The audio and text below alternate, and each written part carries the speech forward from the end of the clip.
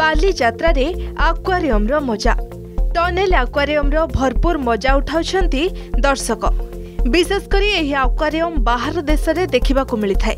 ହେଲେ ଏବେ ଏହା କଟକ ବାଲିଯାତ୍ରାରେ ସ୍ଥାନ ପାଇଛି। ଏହି ଟନେଲର ଲମ୍ବ ରହିଛି ଦୁଇଶହ ଫୁଟ ଏବଂ ଚଉଡ଼ା ରହିଛି ଷାଠିଏ ଫୁଟ। ଟନେଲ ଭିତରେ ଚାଲିବା ବେଳେ ସମୁଦ୍ର ଭିତରେ ଚାଲିବା ଭଳି ଅନୁଭବ ହେଉଛି। ଏହି ଆକ୍ୱାରିୟମ ଭିତରେ ଛୋଟ ସାର୍କ ଛୋଟ ଜେଲିଫିସ୍ ଭଳି ଭିନ୍ନ ଭିନ୍ନ ପ୍ରକାରର ମାଛ ଦେଖିବାକୁ ମିଳିଛି। ଚେନ୍ନାଇର ଏକ ସଂସ୍ଥା ଦ୍ୱାରା କଟକ ବାଲିଯାତ୍ରାରେ ଏହି ବ୍ୟବସ୍ଥା ଆରମ୍ଭ କରାଯାଇଛି। ଏହି ଟନେଲରେ ପ୍ରତିଦିନ ମାଛମାନଙ୍କୁ ଚେଞ୍ଜ କରାଯିବ।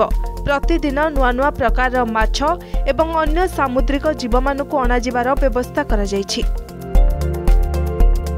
ବାଲିଯାତ୍ରାରେ ନୂଆ ନୂଆ ପ୍ରକାରର ବିଷୟବସ୍ତୁକୁ ରଖାଯାଇଛି। ଦୀର୍ଘ ଆଠ ଦିନ ଧରି ଚାଲିବାକୁ ଥିବା ବାଲିଯାତ୍ରାରେ ଦର୍ଶକଙ୍କୁ ଆକର୍ଷଣ କରିବା ପାଇଁ ନୂଆ ନୂଆ ଜିନିଷ ତିଆରି କରାଯାଇଛି। ଯାହାକୁ ଦେଖିବାକୁ ବାଲିଯାତ୍ରାରେ ବେଶ୍ ଭିଡ଼ ଦେଖାଯାଇଛି।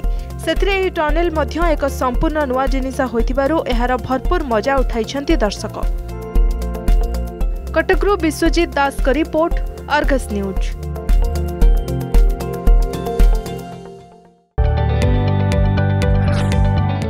जदि आपण को आम भिडी भल लगा तेब आम चैनल को लाइक सेयार और सब्सक्राइब करने को जमा भी बुलां नहीं।